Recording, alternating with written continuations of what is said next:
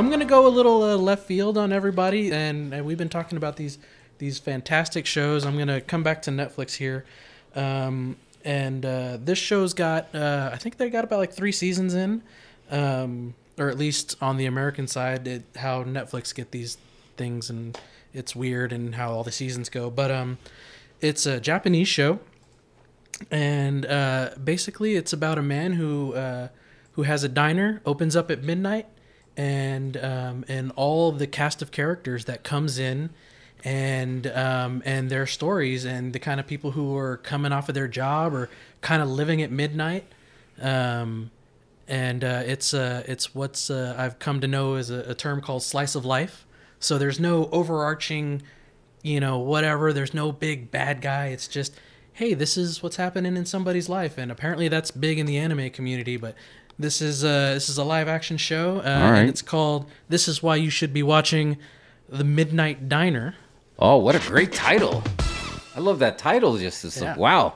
and uh, it's a fantastic show. It, it's just something it, you you have to sub it, and but you know if you just want to kind of just it's just a pleasant show to watch and just kind of sit down. Kind it kind of got you through the pandemic. One of those shows. You know what? you. I'm a, I'm a huge mark for food porn, and if it's and to use food as the vehicle to tell these stories, oh yeah, most definitely. that's really good. Yeah, his and and the uh, the the owner slash chef in in the show, his premise is, you know, uh, he'll make you anything you want if he's got the uh, if he's got the ingredients. And so people in you know in the episodes, somebody will bring him, hey, you know, a bunch of ingredients. Hey, can you make me this?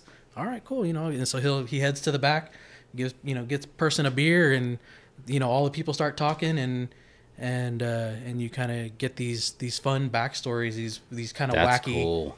you know, kind of sometimes wacky backstories for these people. It's a, it's a fun. you're- Does it get weird? Japanese things tend to get weird sometimes. There's, I, I think like in like the the second or third season, I was like, hey man, why are, why are we starting to sexualize my show? But it, it was just you know the the character, you know, she kind of you know did a she was like a stripper or something. It but it was but it came back. It was it's just a very it doesn't get weird. Um, All right. uh, So I'll, uh just answer your question, it doesn't get weird. It's just a nice, pleasant show. It's it's my and I, I didn't see the show, but I'm feeling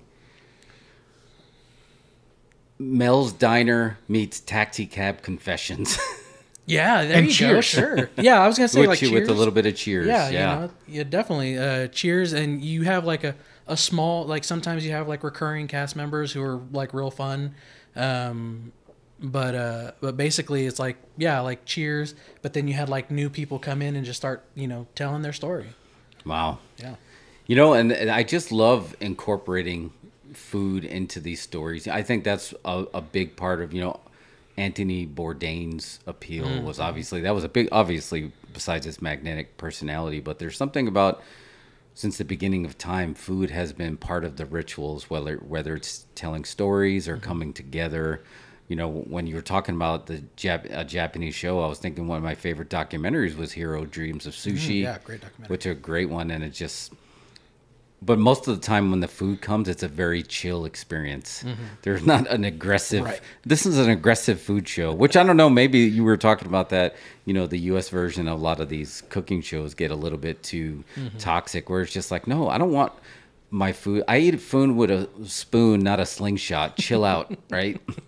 Yeah, and So- and at the end of like I, I believe it at the end of these episodes, each episode in Midnight Diner, they show you like the the they have like a dish. Oh, I was kinda going to takes just say they're going to show you the recipe. and they or- show you oh here's how you make this dish. Oh wow! What a great idea! It's- Simple, it's basic. such a Again, show. that sounds like solid entertainment. It, It really does. is. Hollywood, stop. It, enough with the. Uh, there's room for IPs. We're marked for IPs, but let the original stuff flow too. You'll make some money, especially when you don't have to spend a ton of money on it either. And apparently, um, there's a, a South Korean and a Chinese version of the show. They, I mean, it, it's such a great premise. I'm Oh, sure, you yeah. know, yeah, I'm gonna pick that up and do that too. Wow. And now we're gonna get to the point, right, where it was always famous. You know, The Office and Friends. There's like there were British shows that became U.S. shows, but now with the streaming market being global, do you take the time to remake a version of a show, or like you say, do you just sub it and serve it? Yeah, sub it, Sub it and serve it, and you'll get the same experience. And you can eventually do like a a pivot into like a U.S. version. yeah. Is that a is that a Netflix show? That's a Netflix show. so yep. Netflix and Apple are they're they're running the board a little bit. They're a little bit higher.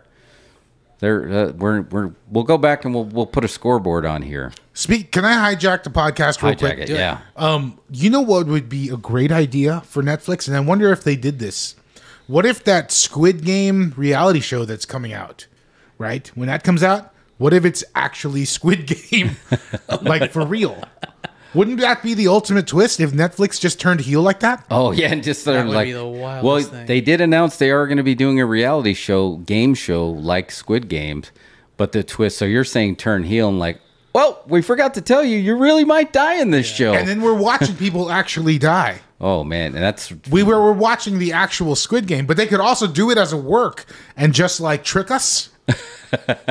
and we wouldn't be able to tell, turn. right? Just like exactly a like War of the face World turn. style. It's oh, like man, like they release all the episodes of the Squid Game reality show, and then they're worked where it's like people start actually dying, and then people are on Twitter. It's like, are you what? Are you watching Squid Game? People are actually dying, and they they just no sell it the whole way until people freak out.